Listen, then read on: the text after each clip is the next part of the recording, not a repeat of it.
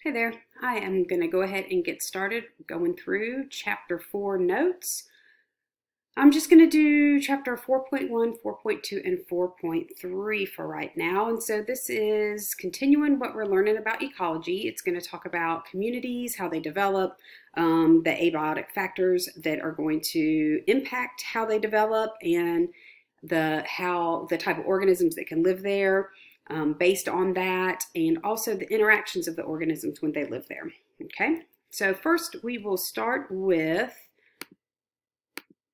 weather and climate. So obviously one of the big abiotic factors that you have to think about are going to be um, what the weather's like and the climate. So we know um, that, well, first of all, let me start with the difference between weather and climate. And I think this is kind of a big deal that you need to understand. A lot of people don't understand it, and so they make comments about things like climate change, and they sound kind of like not real smart because you can tell they don't know the difference between the two. So it's really important that you know the difference. So weather is going to be the day-to-day -day conditions um, in a place. So it's sunny today. It could be rainy tomorrow. It could be um, hot and humid today and cool and dry tomorrow. Those daily, day-to-day -day conditions, that's weather and it's going to change and it's going to vary. You're going to see some fluctuations, some spikes that are going to be different than usual. You might get a, random snowstorm in Savannah, Georgia. And that's weather though from day to day.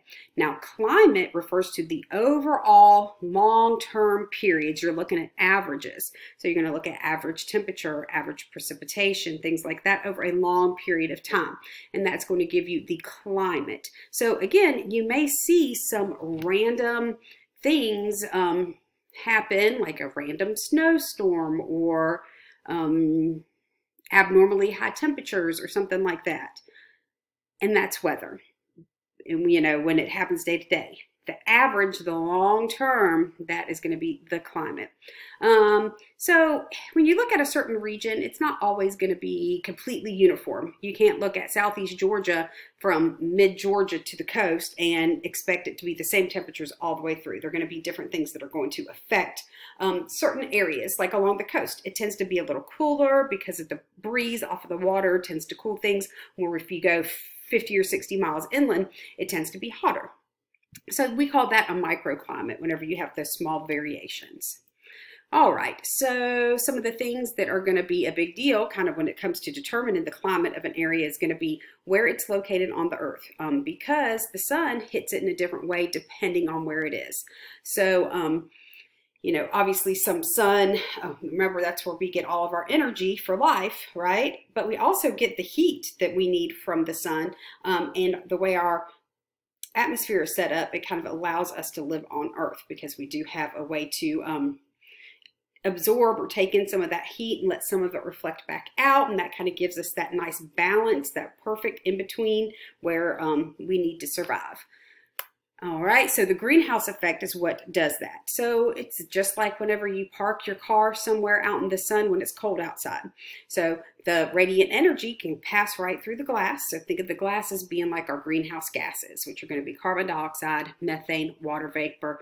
Those are the primary ones um, in our atmosphere. So think of your car windshield as that. The sun can easily, that radiant energy can easily pass back through and then it hits the seats of your car. I have black seats, so this really happens where whenever it hits the seats, it warms it up. That black really absorbs that heat. It heats the car up and now the heat energy can't get back out past the glass. It can't pass through. Heat energy can't pass through like radiant energy does. So it builds up inside of that and causes it to warm. And that's what the greenhouse effect does. So that's what warms our atmosphere. Um, so as we've had this excessive buildup of greenhouse gases in our atmosphere, it's one of the things that's contributed to climate change because we have um, a lot of greenhouse gases um, and that is causing that flow, um, the removal of it, like allowing some of it to escape back out, it's not doing that. So it's just building up and it's slowly warming um, our our environment over time. So you can look at the climate change data. You can look at it and you can see over a period of 100 years in different areas, you can look at average temperatures and they are steadily increasing and increasing as we are putting out more greenhouse gases. So that's going to have a big impact on ecosystems. All right, the closer you are to the equator, obviously, you're going to have more direct sunlight here. So it's coming in, it's direct, as opposed to the poles where it comes in at an angle, so it's real spread out. You don't get as concentrated the energy. So that's why it's warmer at the tropical regions than it is at the poles, just because the way the Earth um, is curved and how the radiant energy hits it. Um, yeah, so, and that's how we get our three climate zones through the middle here. That is our tropical. We have our temperate through here. And then right around here at the ends, um, those are poles. So between the 66.5 um, to 90 degrees north and south latitude. Those are both polar. We have our temperate area between 23.5 and 66.5, both north and south. That gives us the temperate. And then right there from um, 0 degrees to 23.5 degrees north and south. That's the tropical band. Um, so I would know the difference between those three zones and sort of be able to label them maybe on a map. Okay, so heat distribution. So um, the way the wind, the way the earth moves, the way the sun hits the earth, um, it's all going to um, cause these currents. And so you're going to have wind currents and currents in the water. Basically, I don't know if you know this, but cold things tend to be denser and so they sink. And then warm things are less dense because those energy molecules are moving around more and so they float. So that is water and air. Um, an air mass that is cold those molecules are more densely packed and they sink.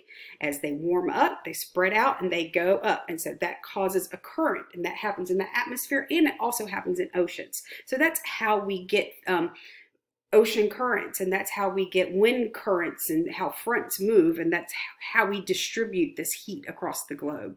Um, so this slide basically is just saying what I said about water sinking um, at polar regions. Warm water is rising at the um, tropical zones, and that's going to cause all of these different um, currents that we see that move the water around the face of the earth. And the same thing happens with air masses as well. All right, so whenever an organism um, I say when they're trying to decide where to live, it's not like they get to decide. Um, but an organism or a species, in order to be able to live in an area, they have to have um, specific conditions. We call that range. It's tolerance, so what it can tolerate in terms of environmental conditions. Um, so its tolerance for environmental conditions is going to determine its habitat. So that's where it lives. Um, so like a um, Arctic fox, well, its tolerance is going to be for colder areas because if you put it into a tropical environment, it's going to get too hot. It's going to be overheated. It's not going to be very successful. So its habitat is determined by its tolerance, which has a lot to do with its physiology. And then where it lives and its role is called its niche. So sort of how it interacts with the biotic and abiotic factors in the ecosystem is the niche of that organism. Where it lives is the habitat and sort of how it lives there is its niche. So think of it that way. All right, so resources. Um, we know what resources are. Water, nutrients, light, food, space, um, and those things are also going to determine where an organism can live, is the availability of resources. But that's also going to cause competition. So organisms will fight with each other, um, and, and how they interact with each other is an important part of defining its niche. Um, so competition is going to happen when there is limited resources in a place. Um, and you're going to see different types of competition. So um, intraspecific is going to be um, members of the same species competing for things. Interspecific are multiple populations that are going to compete. Um, and you might not even think about it, but even plants, they compete for resources. They're competing for water. They're competing for sunlight. They want to grow taller and, and have more access to the sun. They want to have roots that grow deeper and able to bring in more water. So they will actually compete as well. So it's not just animals that are going to compete for these resources. Um, there is something called the competitive exclusion principle, which basically says that no two species can live in the same niche, in the same habitat at the same time, that basically one or the other is going to outcompete the other for these limited resources. And the way a lot of organisms will kind of um, they will make up for that is by resource partitioning. And so basically that just means they divide resources. So here we have this um, we have this tree. Let me move this over a little. All right, so here we have this spruce tree. Then we have three different species of these birds. They're called warblers. They all live in the same area and they eat like the same types of things, but they literally are found in different areas. You find them in different areas of the same tree. So um, this one will live in this area. Then you'll have this one that kind of lives in the middle, and then this one that'll live towards the bottom. So they divide those resources. Um, they do not occupy the same niche. There's too much competition, and they will fight each other. And so it has just developed to where this is their niche, and they do what we call resource partitioning, which is just dividing resources. All right, so some interactions, you know a lot of these. Predation, so predators hunt down prey, kill them and eat them. Obviously, that's going to impact the size of not only the um, prey's population, but depending on the amount of prey around, it's going to determine the size of the predator. So that interaction um, is going to have a big impact on the ecosystem. Um, herbivory, you might not think about it, but herbivores also play a big role in how well plants um, can live, like where they live, how they grow. So in, I think of it a lot as predation, where a predator is hunting and killing an animal and eating it. Well, herbivores are hunting down and killing and eating um, I mean, they don't really have to hunt them down. They're there, but they have to find them, get access to them, and then they eat them and kill them. And so um, it's very much, very similar to predation. All right, so a keystone species is one organism that if you remove it, it can have a huge impact on a community. Um, so I wrote that you don't have to write it down, but we're not taking notes right now, so you don't have to worry about it. Okay, so this is an example that happened up in the Pacific Northwest. So the way it works in the ecosystem up there is that the sea otters eat the sea urchins, sea urchins eat the kelp. Okay, so um, you know, a couple decades ago, the sea otters were being hunted and hunted and hunted and almost completely wiped out. And that caused the sea urchin pop population to just bloom. Um, and it just went crazy. Well, next thing you know, the sea kelp, the forests, um, they're called kelp forest, were completely almost decimated um, because there were so many sea urchins that they just ate everything in sight, all of the sea kelp. Well, when you did that, you start taking away ecosystems for the whole um, area. So the birds that would nest in the top of the kelp and all of the other fishes and the other organisms that lived in that kelp forest were impacted because you removed this one keystone species, which were the sea otters. And eventually that the numbers kind of rebounded once people stopped eating them, or excuse me, stopped hunting them. So whenever they um, the numbers rebounded. You saw the sea urchin population go down, and that allowed the kelp forest to regrow.